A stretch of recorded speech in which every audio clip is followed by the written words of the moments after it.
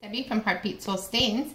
I'm here today to bring the Philippe Aglioni Simple One Touch-Free Soap Dispenser.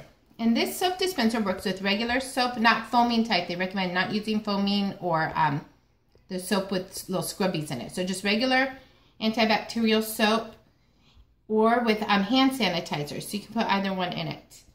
So this wonderful little simple one by Philippe Aglioni. You can find it over at Amazon. You can get more information on it on the blog at Heartbeat Soul Stains.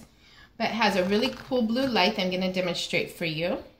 There's no drip technology. The whole time we've had it, it has not dripped on the counter. It's um, just amazing. It's a digital dose, so it can help you if you have little ones like I do um, that like to use too much soap. It's perfect for them. If you're like me, when you're cooking, your hands are really dirty and you don't want to um, touch the soap dispenser, this is perfect. It's really great for the germaphobe, which is kind of what I am. But um, what I also, what, what I thought was the neatest feature is back here, there's an on and off button. So when you um, don't want to have it in use, you can um, switch it off. Or you can just constantly keep it on. But it's totally um, touch-free. It's digital.